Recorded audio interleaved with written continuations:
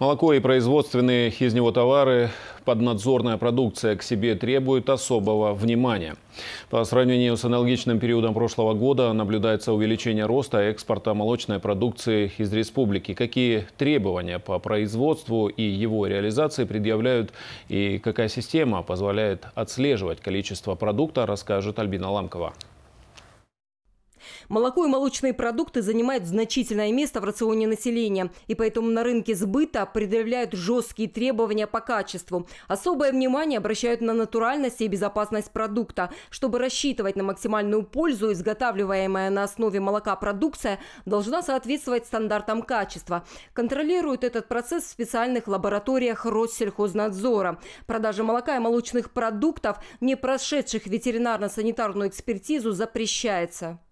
Исследования сырья и пищевой продукции на, по органолептическим исследованиям проводятся в специально оборудованном помещении с контролируемыми показателями микроклимата. Это учитывается температурный режим, влажность и освещенность помещения.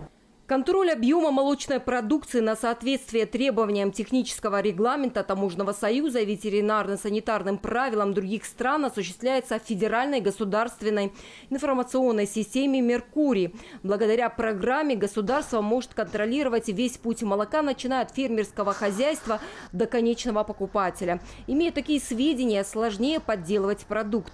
Эти данные используются при изучении экспорта молочной продукции. По сравнению с аналогичным периодом периодом прошлого года наблюдается увеличение роста вывоза из страны. За 6 месяцев 2022 года Северо-Кавказским региональным управлением Роскомнадзора на территории Карачаево-Черкесской республики контролировано 800 тонн молочной продукции. Направляем на экспорт, на экспорт в такие страны, как Республика Абхазия, Казахстан и Азербайджан. Э, больше всего молочной продукции была экспортирована в Республику Абхазия. Молочная продукция, как это, как мацони, э, сливочное масло, каймак, йогурт, молоко. Управление Россельхознадзора напоминает, что вся выпускаемая производителем продукция должна иметь документацию о благополучии хозяйства, в котором вырабатывается сырое молоко.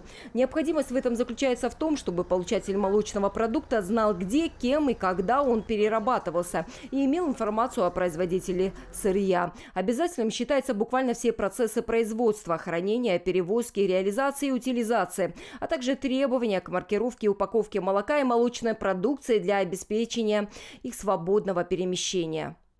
Проверка молочной продукции перед отправкой на экспорт окончательный этап. Вначале проводится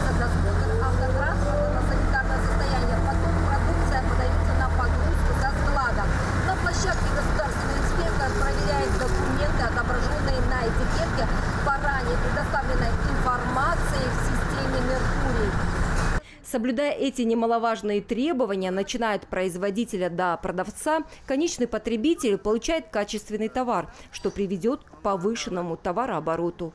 Альбина Ламкова, Расул Бердиев, Вести, Карчаева, Черкесия.